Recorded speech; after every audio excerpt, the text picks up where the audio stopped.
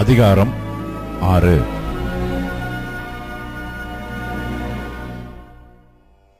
ராஜாவாகிய தரியு அரசாளுகிற ஆறாம் வருஷம் ஆதார் என்னும் மாதம் மூன்றாம் தேதியிலே அந்த ஆலயம் கட்டி முடிந்தது.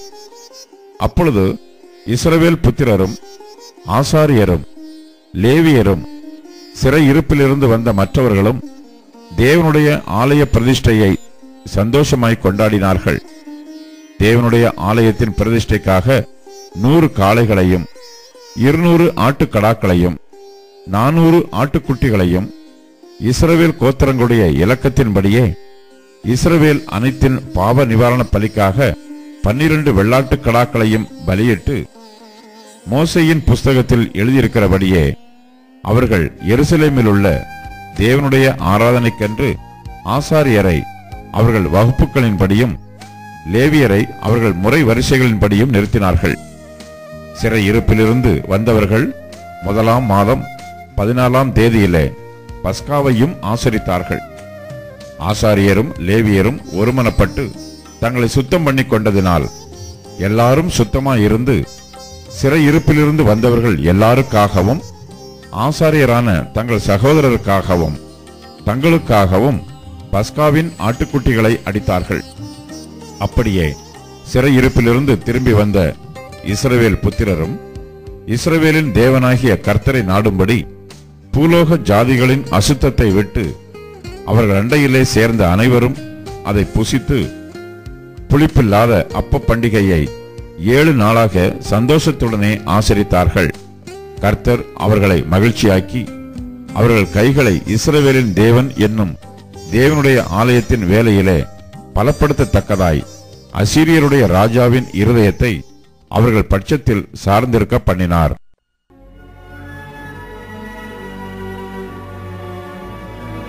ராஜாக்களின் இரண்டாம் புஸ்தகம்.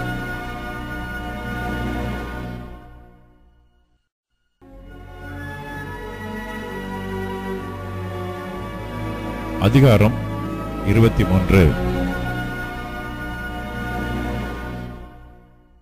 கர்த்தருக்கு கோபம் உண்டாக்க இஸ்ரேலின் ராஜாக்கள் சமாரியாவின் பட்டணங்களில் உண்டாக்கி இருந்த மேடைகளின் கோவில்களை எல்லாம் யோசியா தகர்த்து பெத்தேலிலே தான் செய்த செய்கைகளின்படியே அவைகளுக்கு செய்து அவ்விடங்களில் இருக்கிற மேடைகளின் ஆசாரியர்களை எல்லாம் பலிபிடங்களின் மேல் கொன்று போட்டு அவைகளின் மேல் மனுஷரின் எலும்புகளை சுட்டெரித்து எருசலேமுக்கு திரும்பினான். பின்பு ராஜா இந்த உடன்படிக்கையின் புஸ்தகத்தில் எழுதியிருக்கிறபடியே உங்கள் தேவனாகிய கர்த்தருக்கு பஸ்காவை ஆசிரியுங்கள் என்று சகல ஜனங்களுக்கும் கட்டளையிட்டான். இஸ்ரவேலை நியாயம் விசாரித்த நியாயாதிபதிகளின் நாட்கள் தொடங்கி இஸ்ரேவேலின் ராஜாக்கள் யூதாவின் ராஜாக்கள் ஆகிய அவர்களுடைய சகல நாட்களிலும் இந்த பஸ்காவை போல் பஸ்கா ஆசரிக்கப்படவில்லை. ராஜாவாகிய யோசியாவின் பதினெட்டாம் வருஷத்திலே கர்த்தருக்கு இந்த பஸ்கா எருசலேமிலே ஆசரிக்கப்பட்டது. ஆசாரியனாகிய இல்கா கர்த்தருடைய ஆலயத்தில் கண்டெடுத்த புஸ்தகத்தில் எழுதியிருக்கிற நியாயப்பிரமாணத்தின் வார்த்தைகளை நிறைவேற்றும்படிக்கு யோசியா அஞ்சனக்காரரையும் குறி சொல்லுகிறவர்களையும் சுரூபங்களையும் நரகலான விக்கிரகங்களையும் யூதா தேசத்திலும் எருசலேமிலும் காணப்பட்ட எல்லா அருவருப்புகளையும் நிர்மூலமாக்கினான். கர்த்தரிடத்துக்கு தன் முழு இருதயத்தோடும் தன் முழு ஆத்மாவோடும் தன் முழு பலத்தோடும் மோசையின் நியாயப்பிரமாணத்திற்கு ஏற்றபடியெல்லாம் செய்ய மனதை சாய்த்தான். அவனைப் போலொத்த ராஜா அவனுக்கு முன் இருந்ததுமில்லை அவனுக்கு பின் எழும்பினதுமில்லை.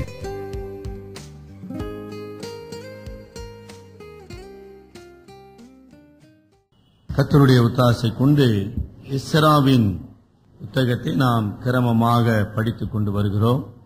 ஆறாம் அதிகாரம் அந்த அந்த புத்தகத்தின் ஒரு பிரிவாக அமைகிறது. ஏழாம் அதிகாரம் ஏறக்குறைய எழுபது ஆண்டுகள் கழித்து ஆரம்பிக்கிறதை நம்ம பார்க்கிறோம். ஆகவே ஆறாம் அதிகாரத்துக்கும் ஏழாம் அதிகாரத்திற்கும் அங்கு பெரிய கால இடைவெளி உண்டு. இந்த இடைவெளியின் காலத்தில் தான் எஸ்தர் ராணி பெர்சிய ராஜாவாகிய ஆகாஸ் வேருவின் ராணி பட்டத்து அரசியாக முடிசூட்டப்படுகிறாள்.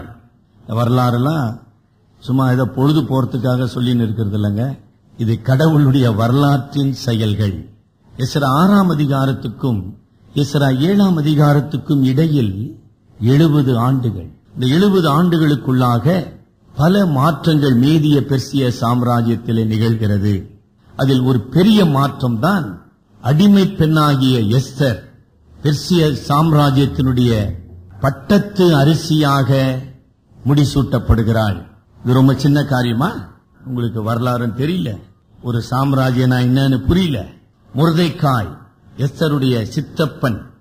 முருதைக்காய் becomes a prime minister of the empire இது ஒரு சின்ன காரியமா? இந்திய அரசியல் சாசனத்தின் தந்தை என்று அழைக்கப்படுகின்ற டாக்டர் அம்பேத்கர் இந்தியாவின் பிரதமரும் ஆகவில்லை. இந்தியாவின் முதல் ஜனாதிபதியும் ஆகவில்லை. சரி அம்பேத்கரை பத்தி தெரியுமா? அம்பேத்கர் மகாத்மா காந்தி அவர்களுடைய கண்டெம்பரரி அந்த காலகட்டத்தில் அம்பேத்கர் அவர்களின் அறிவுக்கும் படிப்புக்கும் இணையான இன்னொரு இந்தியனே கிடையாது. There is no another Indian equal to doctor Ambedkar Ambedkar இந்திய நாட்டின் பிரதமராக ஆகவில்லை. நம்ம விரும்புறதுனாலையும் நமக்கு தகுதி இருப்பதினாலையும் பதவிகள் நம்மை வந்து அடைவதில்லை. ரோமர் பதிமூன்றாம் அதிகாரத்தின் வெளிச்சத்தில் கத்தர் தமக்கு சித்தமானவர்களை உயர்த்துகிறார். There இன்ஸ் த மேட்டர் அது ஒபாமாவா இருக்கலாம் மெக்கேனா இருக்கலாம் சதாரியா இருக்கலாம் டாக்டர் மன்மோகன் சிங்கா இருக்கலாம் ஹூவர் இட் மே பி கத்தர் தமக்கு சித்தமானவர்களை உயர்த்துகிறார். There இன்ஸ் த மேட்டர் காரணம் அவரே சர்வ வல்லமையுள்ள தேவன். உண்மை ஆழமாக வேதத்தை படிக்க கற்றுக்கொள்ள வேண்டும். அவ்வளவுதான் நான் சொல்ல முடியுங்க. அப்படி இல்லைன்னா நம்ம பேப்டி சபைன்னு சொல்றதுக்கு நமக்கு யோகிதை இல்லைங்க. பேப்டி சபனுடைய பாரம்பரியம் என்ன? வேதத்துக்காக வாழ்கிறவர்கள். வேதத்தை வாழ்கிறவர்கள். They live out the Bible the live for the Bible and they glorify the God of the Bible எல்லாம் வேதம் தான் அப்படி நான் இருக்கிறேன் முடிவு பண்ணிக்கொள்ளுங்க. ஆக மிகப்பெரிய ஒரு வரலாற்று மாற்றத்தை நம்ம பார்க்கிறோம். ஆனால் மறுபடியும் இஸ்லாமின் ஆறாம் அதிகாரத்தின் அந்த கடைசி பகுதியை உங்களோடு நான் தியானிக்க விரும்புகிறேன். அதற்கு மிக முக்கிய காரணம் கடந்த நூற்றி எட்டு ஆண்டுகளாக இந்த திருச்சபையோடு திரியேக கடவுள் இருக்கிறார் என்பதற்கான சான்றாக நாம் செயல்பட்டு கொண்டிருக்கிறோம். இஸ் அன் அமேசிங் ஃபேக்ட் கத்தர் நம்மோடு கூட இருக்கிறார். இந்த கத்தர் எவ்வளவு பெரியவராயிருக்கிறார் அந்த கத்தர் எவ்வளவு அதிசயங்களை செய்கிறவராயிருக்கிறார் கத்தர் இந்த திருச்சபையை ஒரு நோக்கத்தோடு இங்கு வைத்திருக்கிறார் வழி நடத்துகிறார். இதை நாம் சரியாக புரிந்து கொள்ள வேண்டும். இவேசர் ஐந்தாம் அதிகாரம் இல்லைங்களா பதினேழாம் வசனமா எடுக்க வேணாங்க காலத்தை பிரயோஜனப்படுத்திக் கொள்ளுங்கள். நீங்கள் ஞானமற்றவர்களைப் போல நடவாமல் ஞானமற்றவர்களைப் போல நடவாமல் ஞானம் உள்ளவர்களாக காலத்தை பிரயோஜனப்படுத்திக் கொள்ளுங்கன்ற தமிழ் மொழிபெயர்ப்பை பார்க்கிறோம். ஆங்கிலத்துல ரிடீம் த டைம் ரிடீம் ஆக திருச்சபை இல்லைங்களா தேவனுடைய சரீரமாகிய சபை அது வைக்கப்பட்டிருக்கிற சமுதாயத்திலே காலத்தை மீட்டுக் கொள்ள வேண்டும். எந்த காலத்தை? கத்தருடைய வருகையின் நாளுக்கு முன்பாக கொடுக்கப்பட்டிருக்கிற கிருபையின் காலத்தை. It is a time of grace time of grace அதுக்கு மேல நான் ஒன்னும் சொல்றதுக்கு இல்ல. கிருபையின் காலத்திலே நாம் வாழ்ந்து கொண்டிருக்கிறோம். இந்த காலத்தை சரியாக பயன்படுத்திக் கொள்ள வேண்டும். நம்மை சுற்றியுள்ள சமுதாயம் இல்லையா? நம்முடைய நாட்டின் சமுதாயத்தின் மக்கள் ஆண்டவராகிய இயேசு கிறிஸ்துவை அறியும்படியாக மனம் திரும்பும்படியாக அவரே மெய்யான தேவன் என்று அறிக்கை செய்யும்படியாக சபை சுவிசேஷத்தை அறிவிப்பதினாலே அவர்கள் காலத்தை ஆதாயப்படுத்திக் கொள்ளுகிறார்கள். ஒரு ஆண்டு காலம் சபையாக நம்ம ஏங்கி வருகிறோமா? என்ன செய்தோம்? எதை செய்தோம்? எதற்காக செய்தோம்? அந்த கேள்வியை கேட்க வேணாமா? கேட்கலாமா வேணாமா?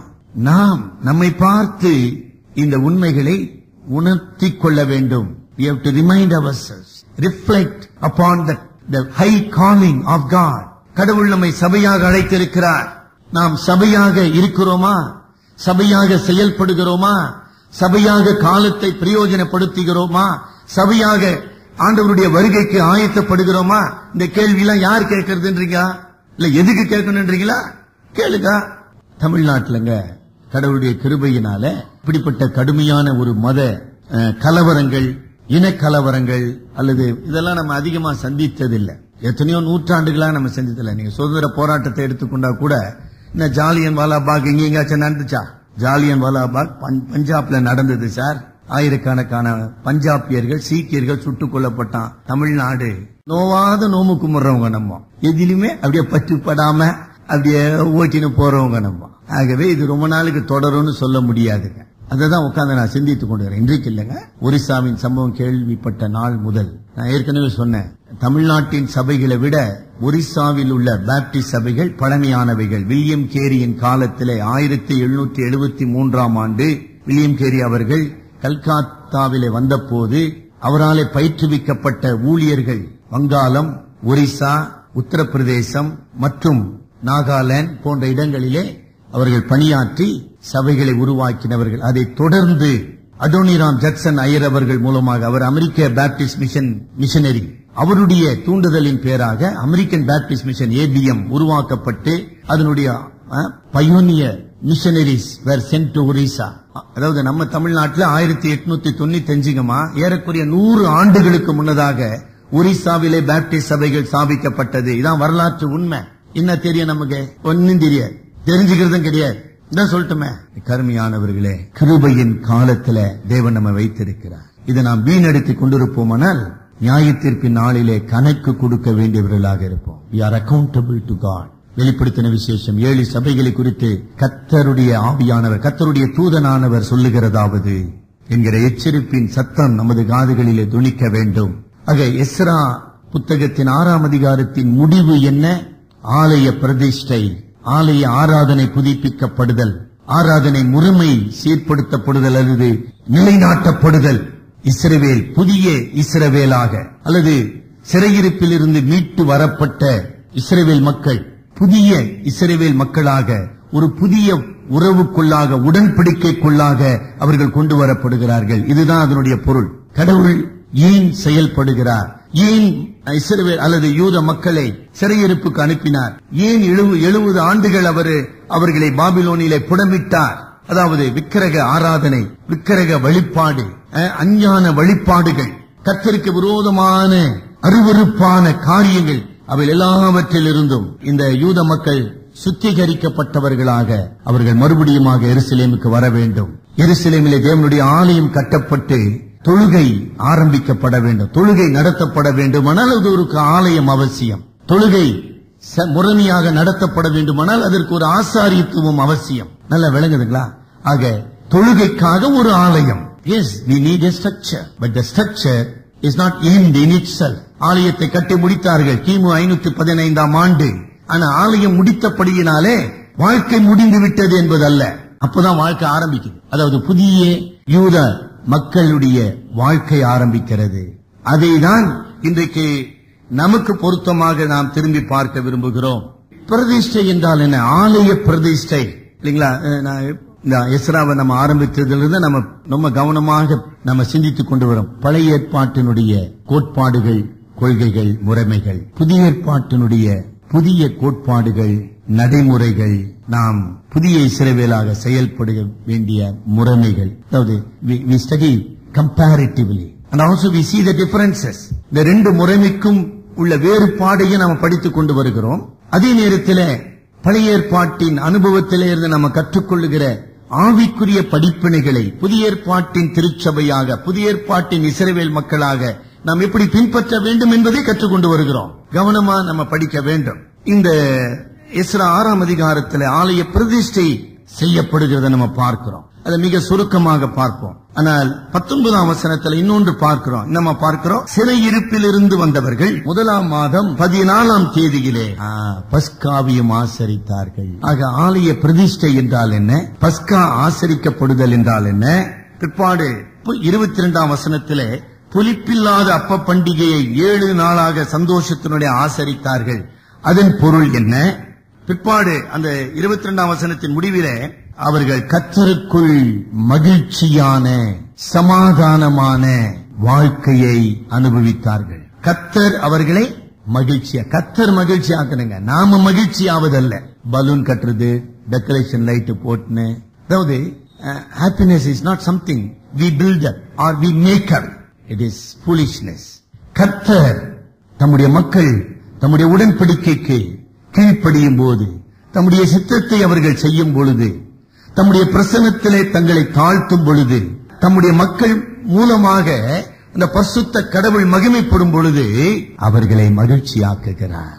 மகிழ்ச்சி என்பது இல்லைங்களா? தேவனுடைய பிரசனத்தில் இருந்து அருளப்படுவது ஆங்கிலத்தில் the gladness radiates from the countenance of God பரிசுத்தமும் மகிமையும் பொருந்திய கடவுளுடைய பிரகாசம் நம் மீது பிரகாசிக்கும் பொழுது மகிழ்ச்சி. தொண்ணூறாம் சங்கீதத்தில் தேவனுடைய தாசனாகிய மோசே அந்த ஜெபத்தை ஏறெடுத்துதான் முடிக்கின்றார். கடைசி வசனம் படிங்க. தொண்ணூறாம் சங்கீத கடைசி வசனம். எங்கள் தேவனாகிய கத்தரின் பிரியம் எங்கள் மேல் அதுதான். அதுதாங்க மகிழ்ச்சி. Let the beauty of the Lord shine upon ஆலயம் பிரதிஷ்டை செய்யப்பட்டது.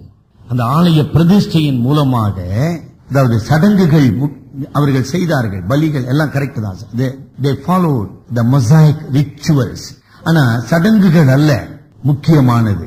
தேவன் அவர்களை அங்கீகரித்தபடியினாலே தேவன் அவர்களை ஆசிர்வதித்தபடியினாலே தேவன் அவர்களை தம்முடைய பிள்ளையாக தெரிந்து கொண்டபடியினாலே தம்முடைய சமூகத்தை அவர்களுக்கு அருளினார். அதுதான் ரொம்ப முக்கியமானதுங்க. ஆராதனை. ஐயா பாட்டு பாட்டங்கயா? ஐயா ஜவம் பண்ணிட்டங்கயா? ஐயா பைபிள் படிச்சங்கயா? இதனால கடவுள் வந்துருவாரா? இப்ப மற்ற மதங்கள்ல நீங்க பூஜை எல்லாம் நடத்துவாங்க. நீங்க பாருங்க. அவங்க என்ன சொல்றான்? அந்த பூஜை நடத்துவதனால அந்த பூசாரி அந்த பூஜையை நடத்தி இதை இப்படி செய்யறான் அதை அப்படி செய்யறான் அதை அப்படி செஞ்சு அந்த சக்தியை வர வைக்கிறான். அது ஆராதனை நம்ம நடத்தி நிற்கிறான் அப்படி இல்லைங்க. நாம் நம்முடைய முயற்சியினால் அல்ல அல்லது நம்முடைய முறைகளினால் அல்ல தேவனுடைய கிருபையினாலே அருளினாலே தேவன் தம்முடைய பிரசன்னத்தை விளங்கச் செய்கிறார். அதான் அந்த இருபத்தி ரெண்டாம் வசனம் அப்படி முடிகிறது. கத்தர் அவர்களை மகிழ்ச்சி ஆக்கினார் ஆக இந்த திருச்சபை வாழ்விலே நீங்கள் இணைந்து செயல்பட்டுக் கொண்டு இருக்கிறபடியினாலே கத்தர் உங்களை மகிழ்ச்சி ஆக்கினாரா சார் கத்தர் என்னை ஆசீர்வதிச்சா சார். இதை கொடுத்தார் சார் அதை கொடுத்தார் சார். ப்ரமோஷன் கொடுத்தார் சார். இன்கிரிமெண்ட் போட்டார் சார். அவருடைய சபையில என்னை மகிழ்ச்சி ஆக்கினார் அதுதான் ரொம்ப முக்கியம். போட்டிருக்குது இல்லையா? நான் சபையின் ஒரு அங்கம். ஆக சபையை கத்தர் ஆசிர்வதிக்கிறார். நான் சபையின் அங்கமாக இருக்கிறபடினால கத்தரனை ஆசிர்வதிப்பது மாத்திரமல்ல ஆசீர்வாதத்தின் வாய்க்காலாக மாற்றுகிறார். ஆக சேப்பின் பண்டிகை அல்லது ஆண்டு விழா என்பதுமா ஏதோ ஒரு பாரம்பரியம் அல்ல. நான் பல முறை சொல்லிட்டேங்க இருபத்தி எட்டு ஆண்டுகள் இப்ப இருபத்தி ஒன்பதாவது ஆண்டு நான் முடிக்கிறேன். இருபத்தி ஒன்பதாவது ஆண்டு சொல்றேன். It is not a tradition or suppose supposed to it is is a the of திருச்சபையாக தேவன் நோடு நாம் நம்முடைய உடன்படிக்கையை புதுப்பித்துக் கொள்ள வேண்டும். அது செய்ய தெரியல. அது என்னன்னு உங்களுக்கு புரியல. உங்களுக்கும் திருச்சபைக்கும் உறவும் இல்லை. உங்களுக்கும் திருச்சபையின் ஆண்டவருக்கும் உறவும் இல்லை என்பதுதான் உண்மை. மெயின் ரீசன் வி செலிபரேட் ரெண்டு ராஜாக்கள் இருபத்தி மூன்றாம் அதிகாரம். படிச்சோம். உங்களுக்கு ஏதாச்சும் அதுல புரிஞ்சுதுங்களா? வரலாறு நமக்கு தெரியாத நாளங்கம்மா எதுவுமே புரியுறது இல்லைங்க ரெண்டு ராஜாக்கள் இருபத்தி மூன்றாம் அதிகாரத்துல யோசியா ராஜா யூதாவின் பக்தியான ராஜா தாவீது மூணு பேர். தாவீது எசேக்கியா யோசியா. மூன்று ராஜாக்கள் தான். எத்தனை தலைமுறை? பதினான்கு தலைமுறை தலைமுறையில. ஞாபகம் வச்சுக்கிட்டீங்களா? பதினாலு தலைமுறை எங்க இருக்குது தெரியுமா? தெரியாது. எல்லாம் மறந்துடுறோமே. மத்திய சுவிசேஷத்துல மூன்று பதினாலு தலைமுறை வரும். ஆபிரகாம் முதல் தாவீது வரைக்கும் பதினாலு. தாவீது முதல் இல்லைங்களா? இப்ப வாசித்தம் பாருங்க. எது? ஜெருபாபேல். அது வரைக்கும் பதினாலு தலைமுறை. ஜெருபாபேல் முதல் இயேசு பிறக்கிறாரு. பதினாலு தலைமுறை. நாற்பத்தி ரெண்டு தலைமுறை. இந்த தாவீது முதல் ஜெருபாபேல் வரைக்கும் உள்ள பதினாலு தலைமுறையில மூன்று ராஜாக்கள் தான் கத்தருக்கு பயந்து கத்தருடைய சித்தத்தை செய்தவர்கள். அவர்கள் பெயர் தான் தாவீது எசேக்கியா ஓசியா. ஆக ஜெருபாபேல் காலத்தில இஸ்ராமின் அதாவது இஸ்ரா புத்தகத்துல நம்ம படிக்கிறோமே அது ஜெருபாபேல் தாவீதனுடைய வம்சத்தின் ராஜகுமாரனாகிய ஜெருபாபேல் காலத்திலே புதிதாக கட்டப்பட்ட இரண்டாவது ஆலய பிரதிஷ்டையின் போது பஸ்கா அனுசரிக்கப்பட்டது. இல்லைங்களா? அதுக்கு முன்பாக அனுசரிக்கப்பட்ட பஸ்கா பண்டிகை தான் ரெண்டு ராஜாக்கள் இருபத்தி மூன்றாம் அதிகாரம். எவ்வளவு தொடர்பு இருக்குது பாத்தீங்களா அந்த இருபத்தி மூன்றாம் அதிகாரத்துக்கு பிற்பாடு அதாவது ரெண்டு ராஜாக்கள் இருபத்தி மூன்று ஓசியா யோசியா ராஜாவின் காலத்திலே கடைபிடிக்கப்பட்ட பஸ்கா பண்டிகைக்கு பிற்பாடு பஸ்கா பண்டிகை ஆசரிக்கப்படவில்லை. இன்னும் நீங்க கவனிச்சீங்களா? கிமு அறுநூற்றி ஐந்தாம் ஆண்டு. அவர்கள் சிறைப்பிடிக்கப்பட்டு போகிறார்கள். கணக்கு போடுங்க. கிமு அறுநூற்றி ஐந்தாம் ஆண்டு முதல் கிமு ஐநூற்றி பதினைந்தாம் ஆண்டு எத்தனை வருஷம் ஆச்சு? நூற்றி பத்து ஆண்டுகள். யூத மக்கள் பஸ்கா பண்டிகையை ஆசரிக்கவில்லை. சாபம் தேவனுடைய கோபம் அவர்கள் மேல் இருந்தபடியினாலே தேவன் அவர்களை புறக்கணித்தார். காட் ரிஜெக்டட் தம் ஆக எஸ்ரா ஆறாம் அதிகாரத்தின் படிப்பினை ஆலயம் அவசியம்தான். ஆனா ஆலயம் ஒரு புதிய அஸ்திபாரத்தை புதிய அடித்தளத்தை யூத மக்களுக்கு கொடு new foundation for the people of Israel and Judah ஒரு புதிய ஆரம்பம். அந்த புதிய ஆரம்பத்துக்கு ஒரு ஆவிக்குரிய அடித்தளம் அங்கு அமைக்கப்படுகிறது. அதுதான் இன்றைக்கு நமக்கு முக்கியம். புரியுதுங்களாமா ஆவிக்குரிய விதிகள் ஆவிக்குரிய முறைமைகள் the principles are the basis for our spiritual life இன்றைக்காதான் முக்கியம். ஆக ஏன் நம்ம இருபத்தி ரெண்டு ராஜாக்கள் இருபத்தி மூன்றை படிக்க வேண்டும்? இன்றைக்கு நமக்கு முழு உங்களுக்கு நேரம் இருக்குமானால் இன்றைக்குள்ள அந்த இருபத்தி மூன்றாம் அதிகாரத்தை முழுவதும் படிச்சு முடிங்க. அடடடட, அந்த யோசியா ராஜா இன்னும் அற்புதமான ஒரு சீர்திருத்தத்தை இஸ்ரவேல் மக்களிலே கொண்டு வருகிறான். What a wonderful reformation. யோசியா ராஜாவாகும் பொழுது வட ராஜ்யமாகிய இஸ்ரவேல் ராஜ்யம் அசீரியர்களாலே அழிக்கப்பட்டு போனது. வரலாறு ஞாபகம் இருக்குதா? வட இஸ்ரேல் ராஜ்யம் அளிக்கப்பட்டபடியினாலே யோசுவாவை கடவுள் எழுப்பி வட ராஜ்யத்தின் பத்து கோத்திரங்கள் தென் ராஜ்யத்தின் இரண்டு கோத்திரங்கள் இந்த ரெண்டு கோத்திரங்களையும் மறுபடியுமாக உயிர்ப்பிக்கும்படியாக அவர்கள் சீர்பொருந்தும்படியாக மனம் திரும்பும்படியாக தேவனுக்கு விரோதமான அக்கிரமங்கள் விக்கிரக ஆராதனைகள் அஞ்ஞான வழிபாடுகள் ஒழிக்கப்படும்படியாக யோசியா என்கிற ஒரு ராஜாவை எழுப்பி ஒரு மறுமலர்ச்சியை கொண்டு வந்தார். அந்த இருபத்தி நான்காம் வசனம் படிங்க. ரெண்டு ராஜாக்கள் இருபத்தி மூணு இருபத்தி நாலு ஆசாரனாகிய இல்கியா போதுங்கம்மா. அந்த இல்கியாவினுடைய கிராட் கிரீன் சன் தான் எஸ்ரா. இதை இதை பதிவு செய்தவன் எஸ்ரா தான். நான் சொன்னேன் எஸ்ரா ரொம்ப முக்கியமான ஆளு பழைய ஏற்பாட்டில். The great grandson of Hilkiah அந்த இல்கியாவின் ஆவி எஸ்ராவுக்குள்ளாக இருக்கிறத நம்ம பார்க்கிறோம். ஆக இஸ்ரேவேல் மக்கள் தேவனுக்கு துரோகம் செய்து உடன்படிக்கையை மீறி பசுத்த தேவனை பசுத்த குலைச்சல் ஆக்கினபடியினாலே அவர்கள் தேவனுடைய கோபாக்கினைக்கு கீழ்ப்பட்டு தண்டிக்கப்பட்டு சிறைப்பட்டு போனார்கள். அந்த மக்கள் மறுபடியுமாக உயிர்ப்பிக்கப்பட்டு புதிய சமுதாயமாக புதிய நாடாக உருவாக்கப்படுகிறது தான் எஸ்ரா ஆறாம் அதிகாரம். இவ்வளவு விஷயம் தெரியணும் அப்பதான் அது புரியும். இல்லாட்டி புரியாது. ஒண்ணு என்ன புரியும் நேரம் நமக்கு இல்ல இல்லைங்களா? அந்த ஆலய பிரதிஷ்டை என்பது it is not the consecration of the place as the dedication of temple literally means the consecration of the place but we are meditating upon the consecration of the people it is not the place important again it was destroyed இல்லைங்களாமா yes அதாவது சாலமோன் காலத்திலே கட்டப்பட்ட தேவாலயம் நேபுகாத் நேச்சாரால் இடித்து நொறுக்கப்பட்டு கொளுத்தப்பட்டு சின்ன பின்னமாக்கப்பட்டது. ஜெருபாபேல கட்டப்பட்ட எருசலேம் தேவாலயம் ரோம பேரரசினால இடிக்கப்பட்டு நொறுக்கப்பட்டு தடயம் இல்லாதபடி தூக்கி எறியப்பட்டது. மூன்றாவதாக மகா ஏரோதிவினாலே கிமு நாற்பதாம் ஆண்டு கட்டத் தொடங்கப்பட்டு ஆண்டவராய் இயேசு கிறிஸ்துவின் காலத்திலே நின்று கொண்டிருந்த எருசலேம் தேவாலயம் கிபி எழுபதாம் ஆண்டு மறுபடியுமாக ரோம ஆட்சியாளர்களால நொறுக்கப்பட்டு இருந்த இடம் தெரியாமல் அழிக்கப்பட்டது.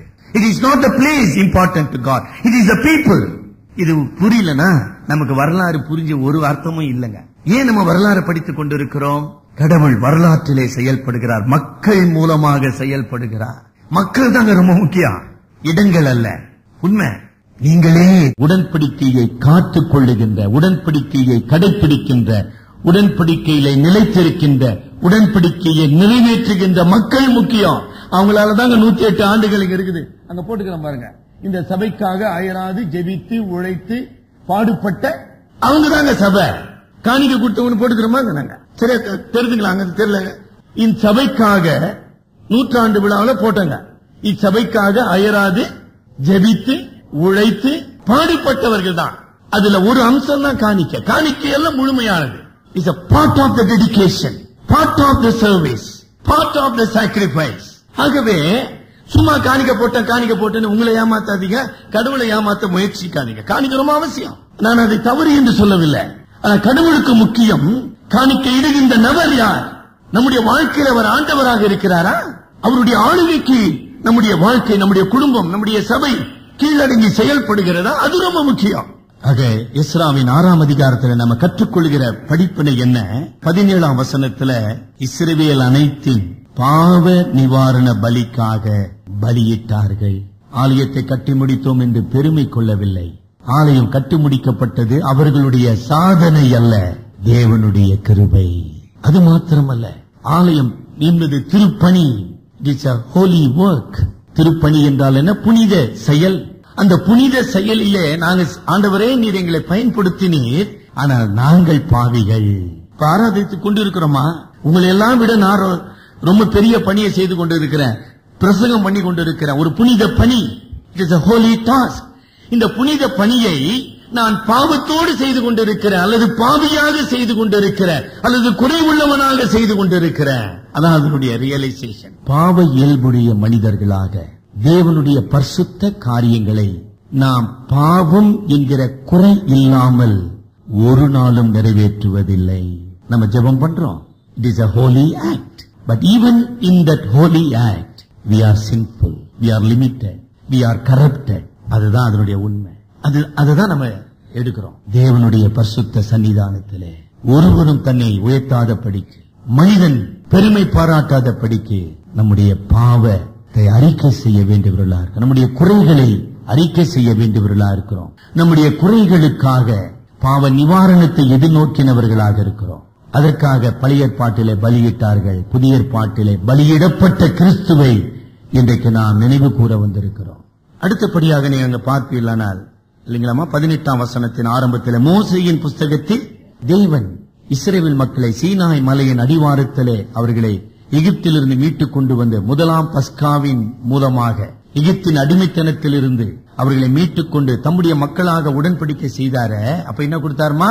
மோசையின் மூலமாக நியாய பிரமாணத்தை தந்தருளினார். ஆக இந்த இஸ்ரேவேல் மக்கள் அந்த நியாய பிரமாணத்துக்கு கீழ்ப்படிந்து வாழ வேண்டும். Israel the people of God they are people of covenant and they are people of the book of the law they are people of the law அவர்கள் நியாய பிரமாணத்தின் மக்கள்.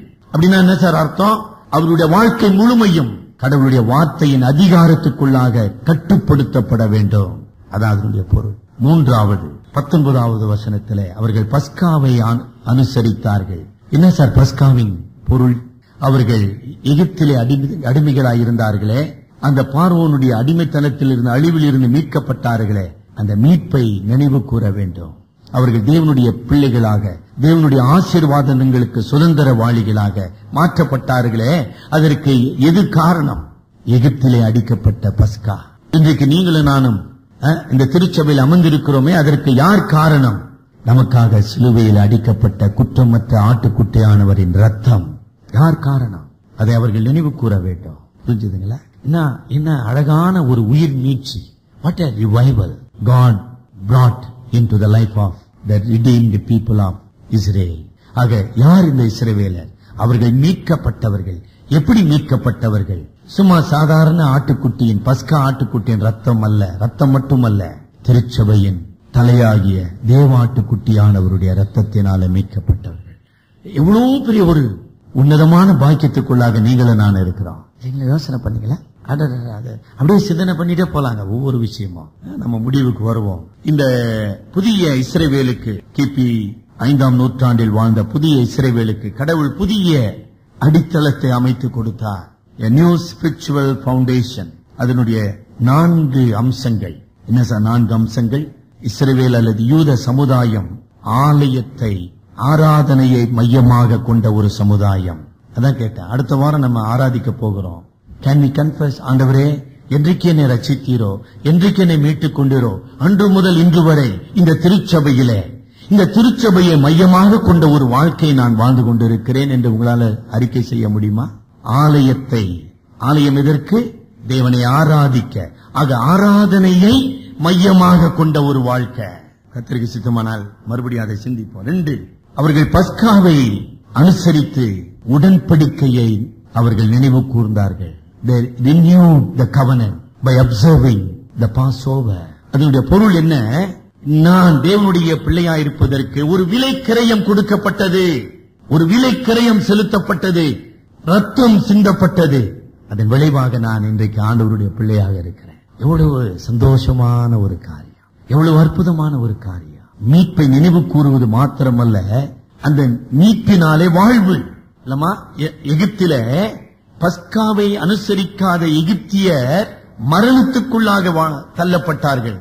They faced death whereas the Israel enjoy the life through the blood.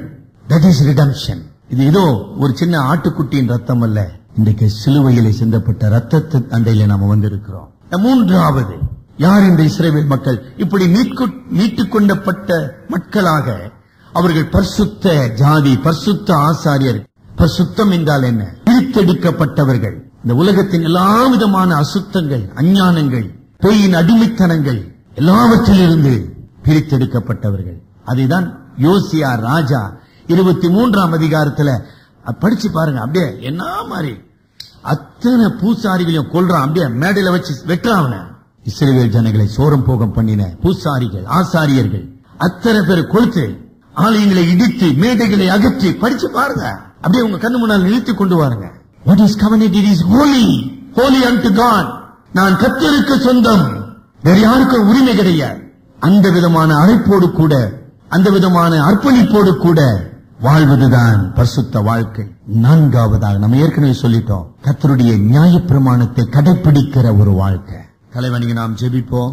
அன்பின் ஆண்டவரே பரிசுத்த தேவனே குறை உள்ளவர்களாக பாவிகளாக கரை படிந்தவர்களாக கழுவப்படாதவர்களாக நாங்கள் இருப்போமானால் ஆண்டவரே எங்களை கழுவி அருளும். ஆவியானவரே எங்களுடைய நோக்கங்களை எங்களுடைய விருப்பங்களை எங்கள் செயல்களை நீர் சுத்திகரித்தருளும். உம்முடைய சரீரமாகிய சபையிலே நீர் எங்களை இணைத்திருக்கிறீர். உடைய விலை மதிக்க முடியாத ரத்தத்தினாலே எங்களை மீட்டுக் கொண்டிருக்கிறீர். இந்த உலகத்திலே உம்முடைய சபையாகவும் சாட்சிகளாகவும் உம்முடைய ஒப்பற்ற மீட்புக்கு பங்காளிகளாக நீர் எங்களை தெரிந்து கொண்டீர். அதற்காக நான் நன்றி செலுத்துகிறோம். இந்த உன்னத அழைப்பிலே நாங்கள் உம்மை பின் செல்ல ஆவியானவரே எங்களை காத்துக்கொள்ளும் வழி நடத்தும். அரும ரட்சகர் மூலம் ஜபிக்கிறோம் பிதாவே.